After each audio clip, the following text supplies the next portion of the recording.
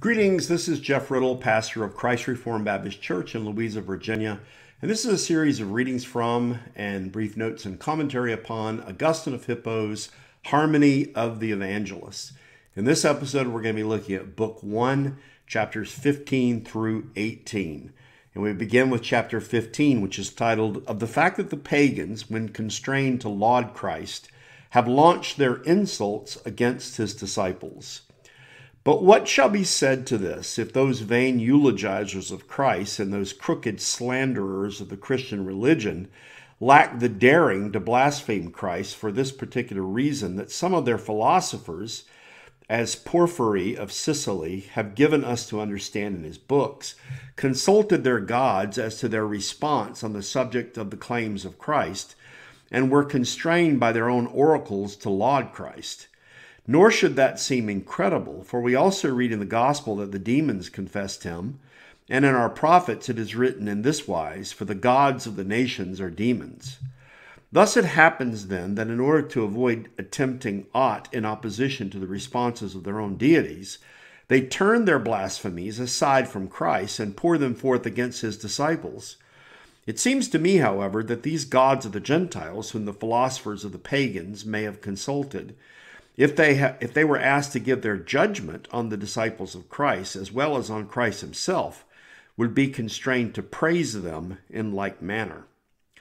Chapter 16, titled, Of the fact that, on the subject of the destruction of idols, the apostles taught nothing different from what was taught by Christ or by the prophets.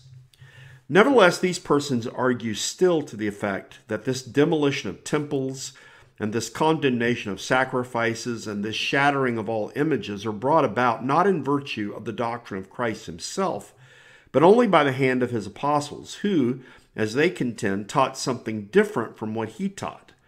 They think by this device, while honoring and lauding Christ, to tear the Christian faith in pieces.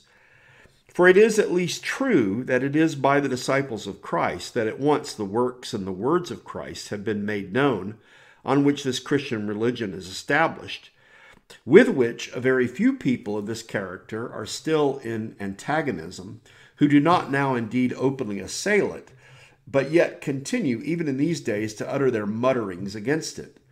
But if they refuse to believe that Christ taught in the way indicated, let them read the prophets, who not only enjoined the complete destruction of the superstitions of idols, but also predicted that this subversion would come to pass in Christian times. And if these spoke falsely, why is their word fulfilled with so mighty a demonstration? But if they spoke truly, why is resistance offered to such divine power? Chapter 17, titled In Opposition to the Romans Who Rejected the God of Israel Alone.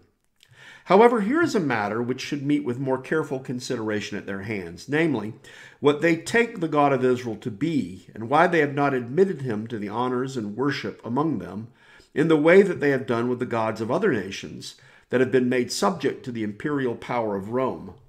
This question demands an answer all the more when we see that they are of the mind that all the gods ought to be worshipped by the man of wisdom.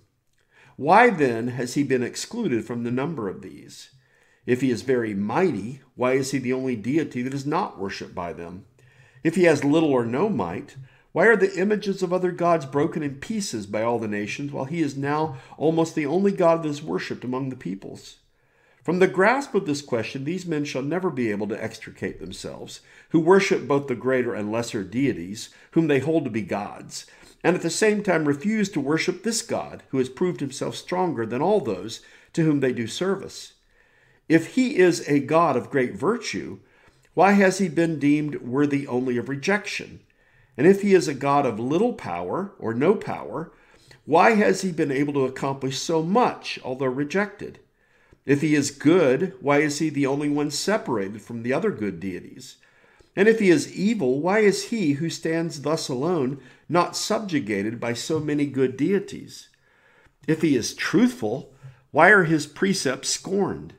And if he is a liar, why are his predictions fulfilled? Chapter 18, titled of the fact that the God of the Hebrews is not received by the Romans, because his will is that he alone should be worshiped.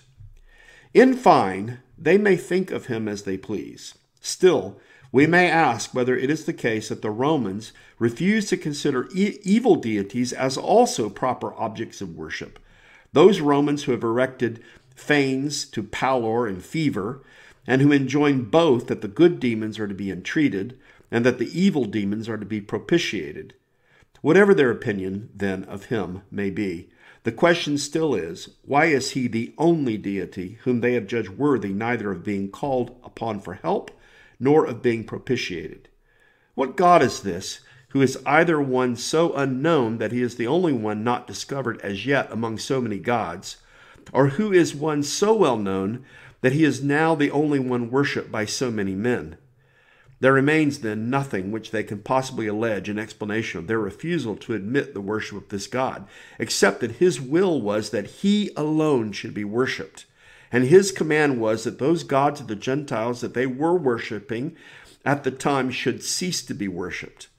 But an answer to this other question is rather to be required of them, namely, what or what manner of deity they consider this God to be, who has forbidden the worship of other gods for whom they erected temples and images. This God, who has also been possessed of might so vast that his will has prevailed more in effecting the destruction of their images than theirs has availed to secure the non admittance of his worship. And indeed, the opinion of that philosopher of theirs is given in plain terms, whom, even on the authority of their own oracle, they have maintained to have been the wisest of all men. For the opinion of Socrates is that every deity whatsoever ought to be worshipped, just in the manner in which he may have ordained that he should be worshipped. Consequently, it became a matter of the supremest necessity with them to refuse to worship the God of the Hebrews. For if they were minded to worship him in a method different from the way in which he had declared that he ought to be worshiped, then assuredly they would have been worshiping not this God as he is, but some figment of their own. And on the other hand, if they were willing to worship him in the manner which he had indicated, then they could not but perceive that they were not at liberty to worship those other deities whom he interdicted them from worshiping. Thus was it, therefore, that they rejected the service of the one true God because they were afraid that they might offend the many false gods. For they thought that the anger of those deities would be more to their injury than the goodwill of this God would be to their profit. And this is going to bring to a close the reading of Book 1, uh, chapters 15 through 18 of Augustine's Harmony of the Evangelists. And we'll make a few notes and comments now on each one of these chapters, beginning with uh, Book 1 and chapter 15, titled Of the Fact that the Pagans, when constrained to laud Christ, have launched their insults against his disciples. Augustine describes his pagan opponents as crooked slanderers. On one hand, they are vain eulogizers of Christ, while on the other hand, they pour out blasphemies against his disciples. Augustine notes in particular the attacks of Porphyry of Sicily, and he suggests that such pagan philosophers have been uh, led by their own demonic uh, gods uh, he notes a parallel in the Gospels where the um, the demons will uh, confess that they know uh, that Jesus is the Son of God. And so he says, similarly, these gods uh, tell the philosophers like Porphyry uh, that they are not to blaspheme Christ, but then they proceed and blaspheme instead his apostles.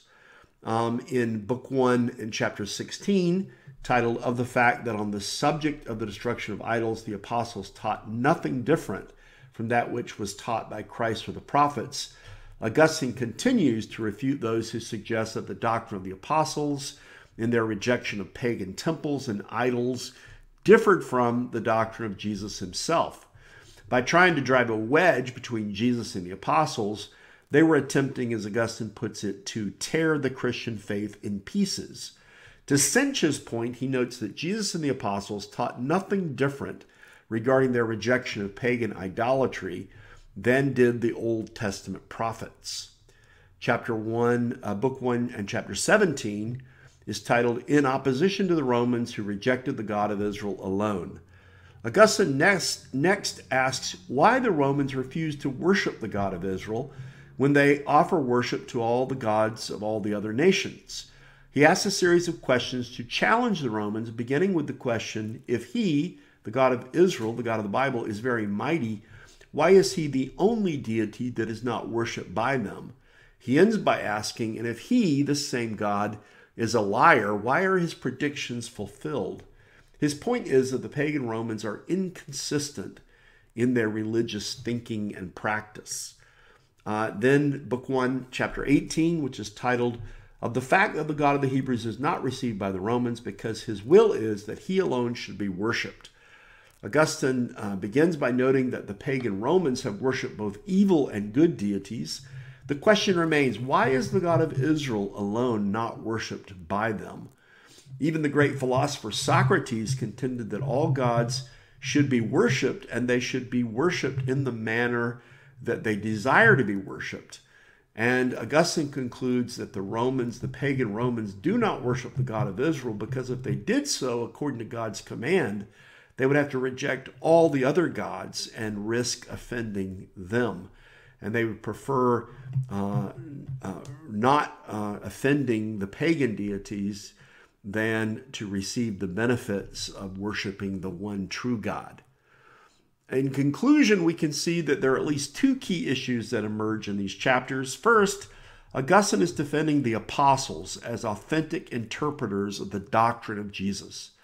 There is not a gap or a difference between the teaching of Jesus and the teaching of his authentic disciples.